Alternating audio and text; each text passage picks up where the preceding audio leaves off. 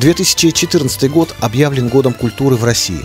Пристальное внимание со стороны государства к деятельности учреждений культуры, дошкольных, музыкальных и художественных учреждений налагает на всех работников этой сферы высокую ответственность.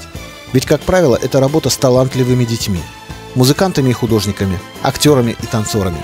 А все вместе, участники коллективов самодеятельного художественного творчества и учащиеся художественных школ искусств Кировского муниципального района, несут неусыпную вахту в деле сохранения и развития культуры в нашем районе.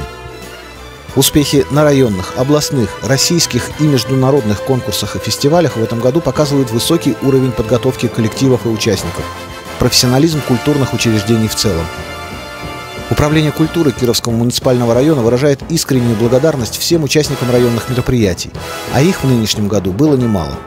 16 проектов военно-патриотической направленности – 20 конкурсных проектов самодеятельного народного творчества и исполнительного искусства, три юбилейных проекта 20-летие Синявинской, 40-летие Отрадненской школы искусств и 30-летие Шлиссельбургской художественной школы, два массовых праздничных проекта Дни славянской письменности и культуры и наш общий дом «Земля Ленинградская».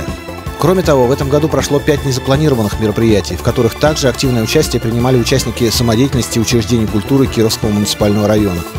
Сегодняшний слет участников коллективов самодеятельного художественного творчества и учащихся детских школ искусств «Карусель талантов» – это заключительная акция в рамках Года культуры в Российской Федерации. Культурно-спортивный комплекс «Невский» рад приветствовать всех участников слета.